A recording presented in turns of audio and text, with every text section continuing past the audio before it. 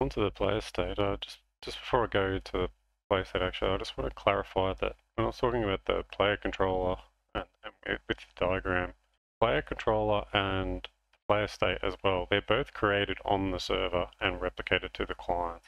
With the player controller, it's replicated to the owning client only, and then with the player state, it's replicated to all clients. But I think it's important to understand that they're created on the server.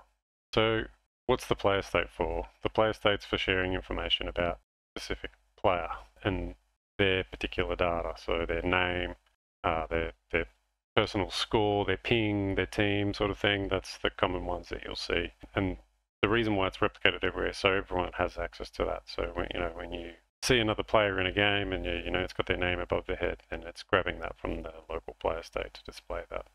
The player state has another built-in feature. It's we, we may get to setting up at some point the uh, when a player disconnects from a game, it can persist some data across. So you can uh, it has a built-in feature called copy properties where you can restore the uh, player back into the game if they reconnect. So that's but other than that, the player state is pretty basic. You sort of just want to think of it as store data that's relevant to any particular player. So we're going to crack st straight into creating our player state base class. So again, I'm going to go to the player folder, a class, player state,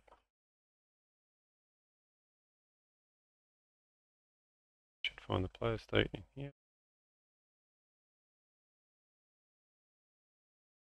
And it's the same constructor as what we've been doing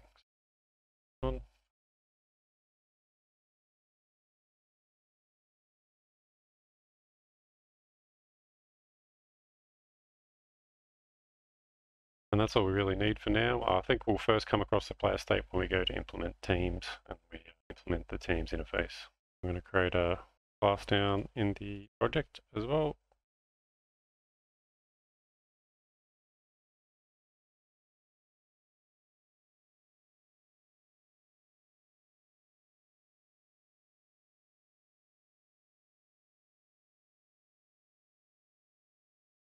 and we'll fire up the editor.